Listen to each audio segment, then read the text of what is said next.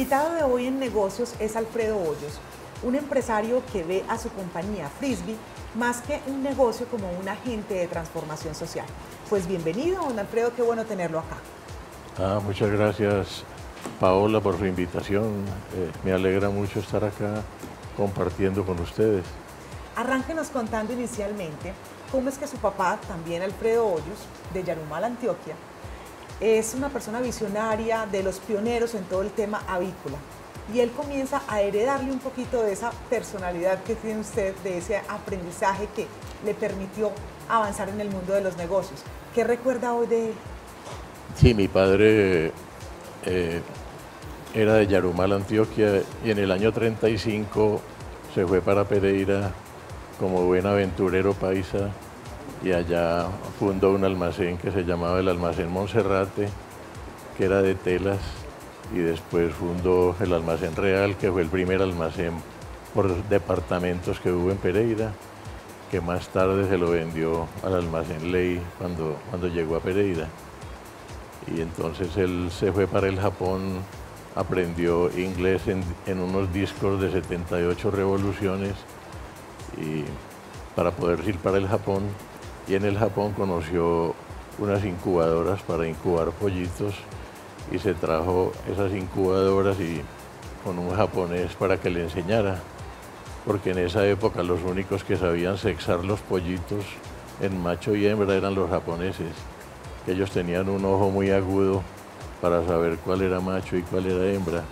Entonces en esa época eh, mi papá fue uno de los pioneros de la avicultura en Colombia. Aquí estamos viendo una de esas primeras imágenes, usted con su papá, ¿usted estaba más o menos de cuántos años?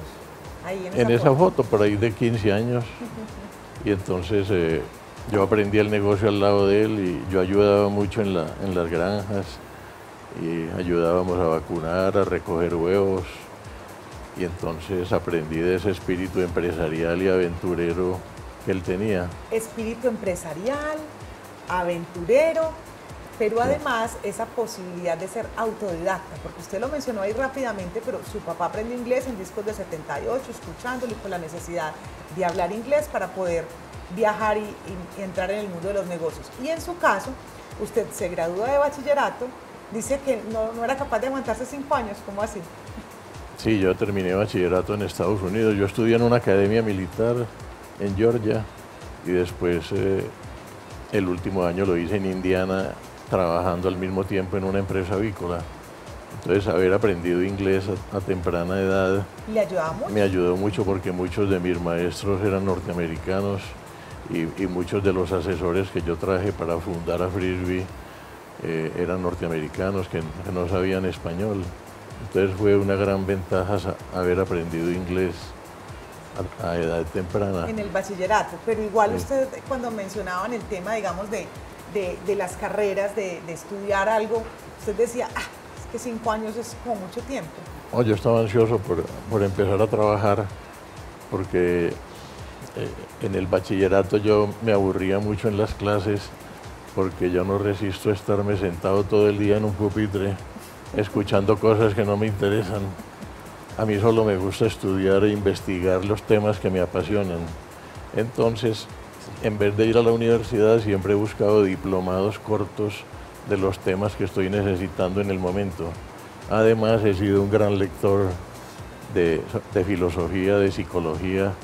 Eh, yo he sido un gran investigador de la conducta humana y eso me ha conducido a que Frisbee no solo sea un negocio, sino un agente de transformación social.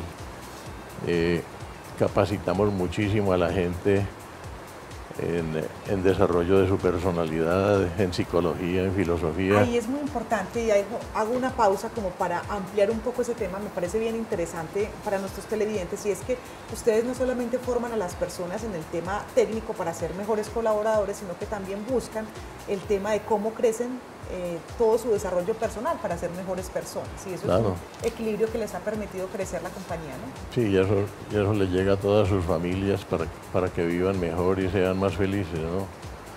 Entonces hemos tenido grandes asesores psicólogos como, como el doctor Frank Cardell, que, que fue asesor nuestro durante 20 años. Eh, él era PhD en psicología de la Universidad de Berkeley y él daba talleres en todo el mundo de psicología transpersonal.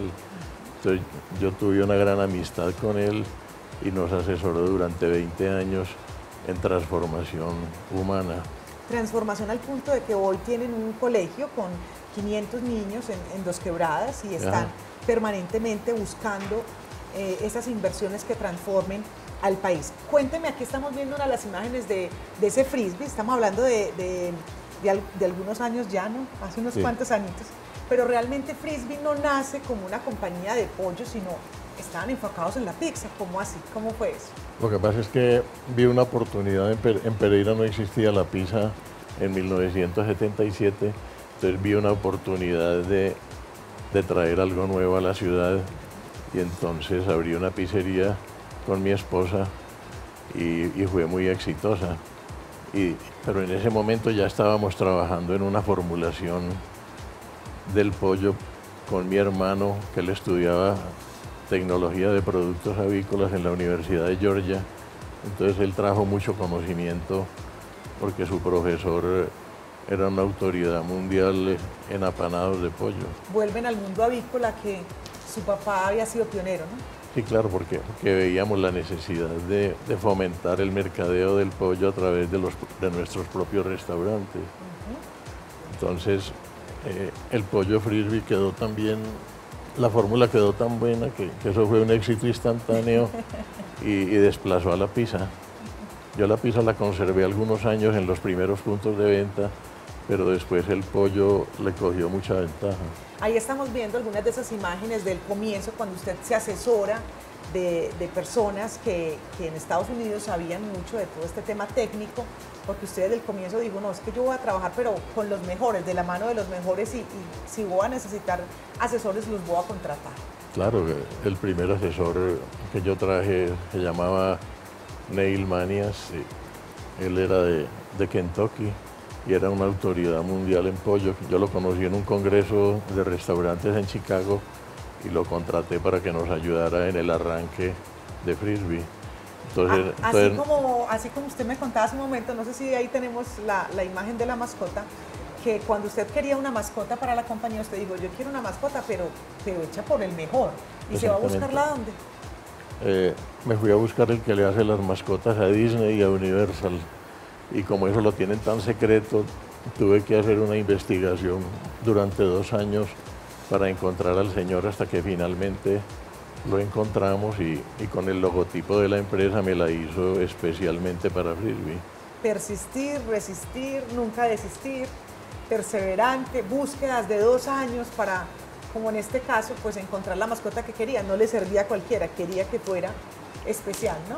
Sí, eh, es muy importante para los jóvenes saber que, que cuando uno tiene un propósito claro, las cosas se dan. Empresario autodidacta, eh, que ve la posibilidad del inglés como esa, esa puerta que se abre, pero también una persona que le encanta la lectura y de ahí la posibilidad de llegar al conocimiento y hacer cursos cortos, porque definitivamente tanto tiempo usted no era capaz de quedarse sentado en, un escritorio tanto tiempo. Claro. Usted comienza a, a, ver que la compañía va avanzando, pero definitivamente al mercado hay que escuchar. Entonces usted dice, no, queremos desarrollar productos nuevos y comienza todo el tema de la innovación. Cuéntenos sobre eso.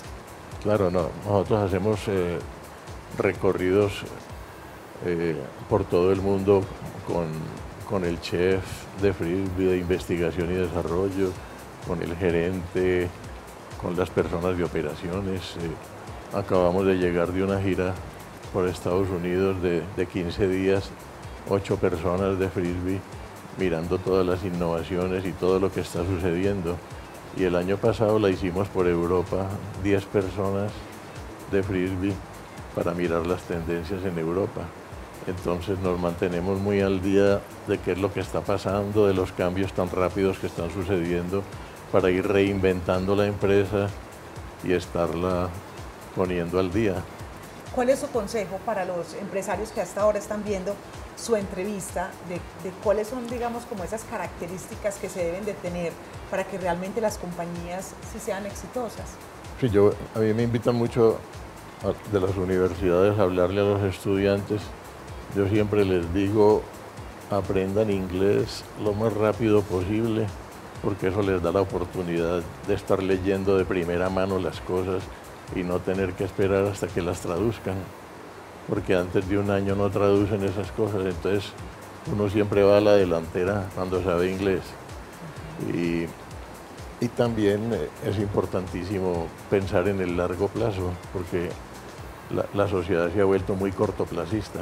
Cuando una empresa tiene una filosofía sólida, garantiza el largo plazo. El largo plazo es el resultado de tener una filosofía muy sólida en la organización.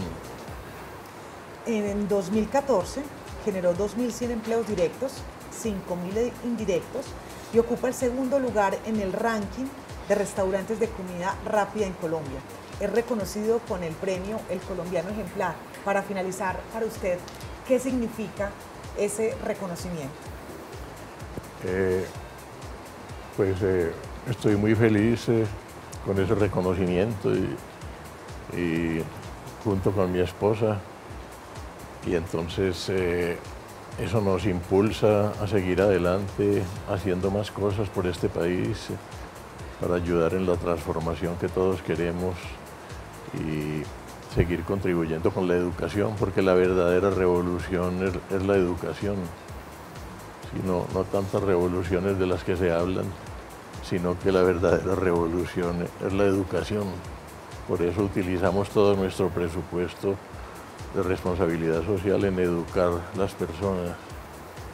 Pues de verdad que muchísimas gracias a don Alfredo por acompañarnos aquí en Negocios y sobre todo compartirnos de ese sueño que se hace realidad, que es reconocido en el país y que ha permitido, como usted lo decía al comienzo, no solamente que sea un muy buen negocio, sino una posibilidad de transformación, de transformación de todo ese, de todas esas personas que los están rodeando y que hoy pues ustedes están dando cuenta mediante esas inversiones, mediante esas posibilidades que le están abriendo a la comunidad. Muchas gracias. Muchas gracias, Paola. Este es Negocios, ya regresamos.